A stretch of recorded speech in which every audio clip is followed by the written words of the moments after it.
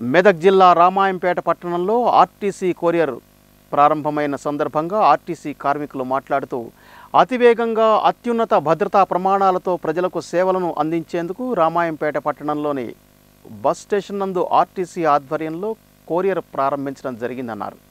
వంద కిలోమీటర్ల మేరకు సరుకులు రవాణా చేసుకునే సదుపాయం కలదు అన్నారు. ఈ అవకాశాన్ని ప్రజలు వినియోగించుకోవాలని వారు సూచించారు. వివిధ రంగాలకు చెందిన ప్రజలకు ముఖ్య విజ్ఞప్తి ప్రజా రవాణా రంగంలో ఎన్నో సేవలు అందించి మీ సహకారంతో ఆర్టీసీ ఎన్నో అవార్డులు సాధించింది.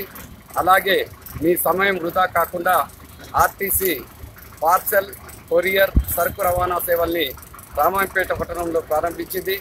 దీనివల్ల మీకు సమయం వృధా అవుతుంది.